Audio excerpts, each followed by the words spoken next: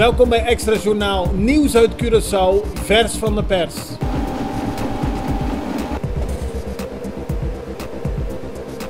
En dit is het nieuws van vandaag.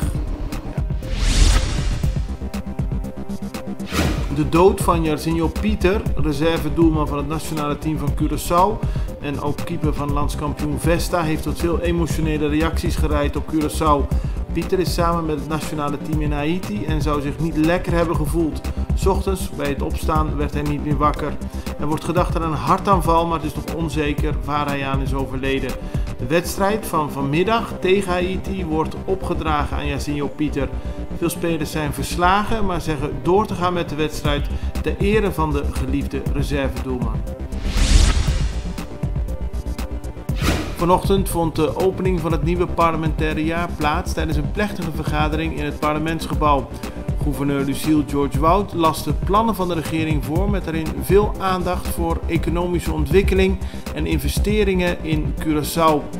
De wegen rond het Wilhelminaplein waren afgezet vanwege de ceremonie. Statenvoorzitter William Madison gaf gisteren aan dat hij in het nieuwe parlementaire jaar hoopt dat de parlementariërs zich meer aan het onderwerp houden als ze tijdens een openbare vergadering spreken. Nu hoort hij te vaak allerlei beschuldigingen die niets met het onderwerp zelf te maken hebben. Hij wil daar in het nieuwe parlementaire jaar strenger op letten. Extra heeft vandaag aandacht besteed aan een zaak die gisteren in de rechtbank werd behandeld. Daar moest de man zich verdedigen tegen beschuldigingen dat hij zijn stiefkinderen lange tijd zou hebben misbruikt. De man zit inmiddels 14 maanden vast en zei gisteren onschuldig te zijn. De kinderen echter hebben verklaard dat ze al lange tijd door de man worden mishandeld. De kinderen hebben verklaard dat ze al lange tijd door de man worden misbruikt. Zo zouden ze onder dwang seksuele handelingen hebben moeten verrichten en daarvoor telefoonkaartjes hebben gekregen. Het gebeurde al vanaf het moment dat de kinderen 7 à 8 jaar oud waren. Franklin Meijers, de leider van de fractie van United Democrats in het parlement van Sint Maarten, heeft gezegd de regering niet langer te steunen.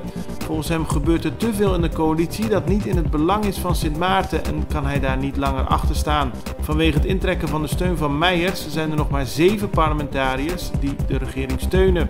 Echter, oppositieleider Frans Richardson is gearresteerd, dus dat betekent dat de oppositie ook geen meerderheid heeft. De situatie is nu een beetje onduidelijk en zal pas duidelijk worden als ofwel Richardson terugkomt, ofwel er een stemming gaat plaatsvinden in het parlement. De directie van het ABC Busbedrijf zal de bezorgde werknemers morgen informeren over de huidige situatie. Buschauffeurs maken zich zorgen over de financiële situatie van het bedrijf en zijn gisteren een bezorgdheidsactie begonnen. Ze zijn het er niet mee eens dat avondroutes niet meer tot 10 uur s'avonds duren, maar de laatste bussen al om 8 uur s'avonds rijden. Vooral op Bandabouw leidt dat tot veel problemen van mensen die niet meer naar huis kunnen.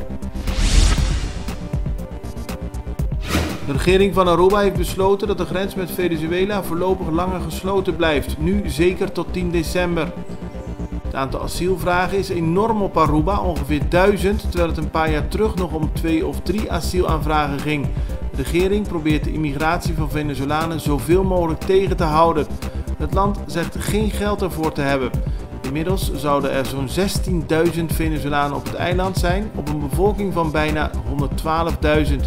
Volgens Caribisch netwerk verdwijnen velen in de illegaliteit. Dit was Extra Journaal met nieuws uit Curaçao in het Nederlands elke doordeweekse dag. Tot de volgende keer.